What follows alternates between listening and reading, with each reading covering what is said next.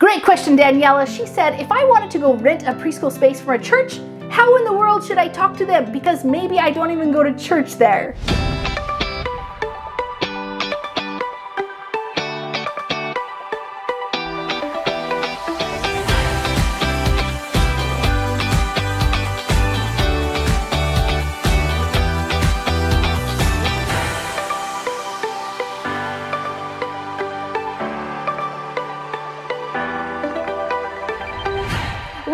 Preschool owners have decided to put a preschool inside of a church because they A, don't want to do it in their home, or B, don't want to get an actual preschool building or a business space or anything like that. And a church just seems like the natural first step, and it's not as intimidating as signing a five year lease. It's not as intimidating as having like a business structure where you have to have signs up and it feels so like you know, sometimes stark and cold and just, they want that more warm, cozy feel, and a church definitely serves that need. So, how can you talk to the church though, right?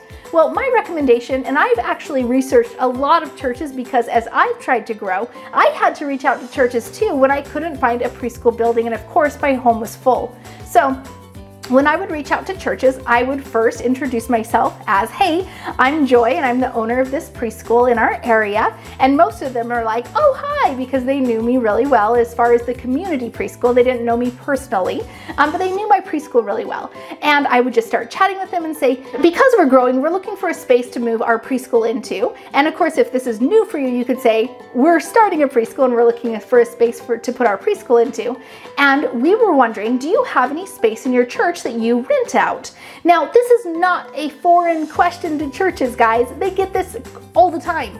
Anybody that answers the phone at pretty much any church, you can guarantee has been asked this question multiple times by either Girl Scouts, Boy Scouts, uh, any kind of organization like dance camps or karate studios or you know tutoring whatever like it is a thing many many churches do this thing where during the week they have all this space and they would love to get a little bit of income from it, right? Hey, quick question. Does the word daycare literally feel like fingernails on a chalkboard? Oh, chills. I hate that word daycare.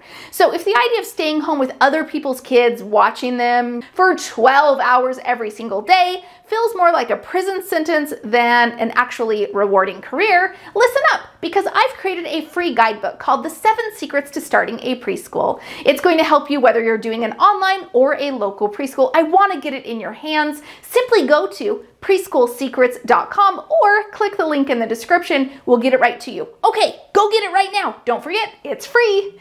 During the week, they have all this space and they would love to get a little bit of income from it, right? So it's actually a really common thing. And then that person is usually not the right person to talk to though. And so they'll usually say, well, actually my, you know, person that you would talk to or my pastor or whoever, um, the person that you would actually talk to is not here right now, but let me definitely have you take their phone number and be able to chat with them later. So the questions you want to ask this person are, how much would it cost and what kind of size of room do you have and when are the openings available during the week? Because you want to make sure like if Monday, Tuesday, Wednesday, Thursday is full and the only day you could have is Friday, you'd have to say, is that worth it for my preschool to just have a one day preschool? Probably not. Um, so they might say, well, you know, we have something, we have another organization in our building from Monday and Wednesday, but Tuesday, Thursday, Friday is open. And you'd have to say, okay, well, I could either do a Tuesday, Thursday class or I could do a Tuesday, Thursday, Friday class. And is that what I want for my preschool? Just make sure that you're not settling.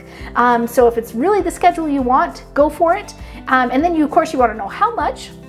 Usually churches are so willing to work with you. Um, so they'll usually have a set rate that they charge and uh, based on the time that you're in there with them. And then the other big factor though is where are you going to store your materials, right? Because they don't want all your preschool stuff around, right? They've got church going on the next Sunday. So that is the other factor when you have to think about a preschool is where are your materials going to go? Um, usually they'll be able to have like a nursery or some kind of a children's area already set up because it's a church with children usually.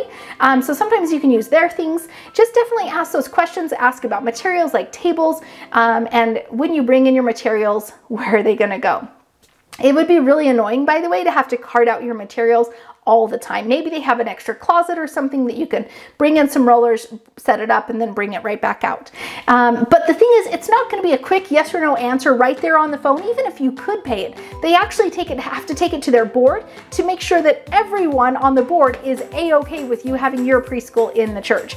But do be aware that that's one of the final steps you need to have before the actual approval happens. So keep that in the back of your mind. But that being said, the church is still a really great option for you, especially if you don't want to have to go get a preschool building or if your home isn't an option. Definitely check out all the churches in your area. You might get a lot of no's, but all you're looking for is one yes. Post in the comments what your idea of being in a church is. Would you like to have your preschool in a church or not? What are the pros and cons to you? Post in the comments. I can't wait to read them.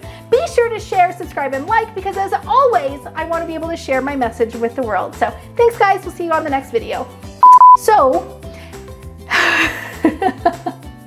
take in the very final parse. I cannot get through this video. No. I will get through this. I will do it. Okay.